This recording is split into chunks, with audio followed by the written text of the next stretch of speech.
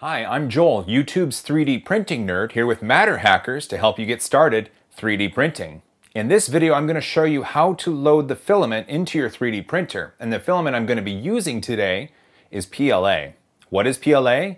PLA filament is a, is a wonderful filament to get started 3D printing with. It's made from renewable resources and it has a very low environmental impact. Unlike other printing plastics, it can naturally degrade in the environment within six months to a year, compared with others that can take hundreds, if not thousands of years. PLA is also a great filament because it doesn't require a heated bed to print and it doesn't require extremely high temperatures on your 3D printer to extrude. So let me show you how to load it into your 3D printer.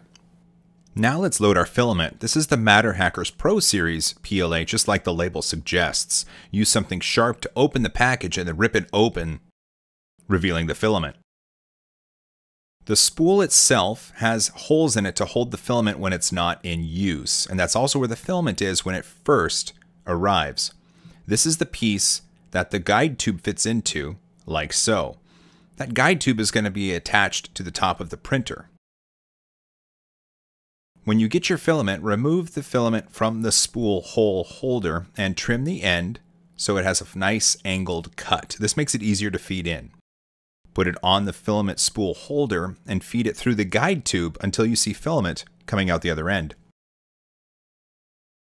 Ah, just like that. Now it's time to power the printer on and using MatterControl, we're going to preheat the nozzle. To preheat the nozzle within MatterControl, click on Settings and Controls. Come down to Preheat and click. That's going to set the nozzle to 205 degrees centigrade, the preheat temperature. This is the printer heating up. Your printer will not heat this fast. I sped up the footage so you wouldn't have to waste time watching it. Yes, I'm nice.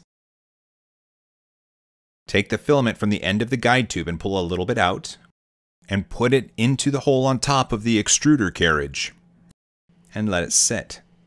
Within MatterControl, hit the E plus button. And once filament comes out of the nozzle, you're done.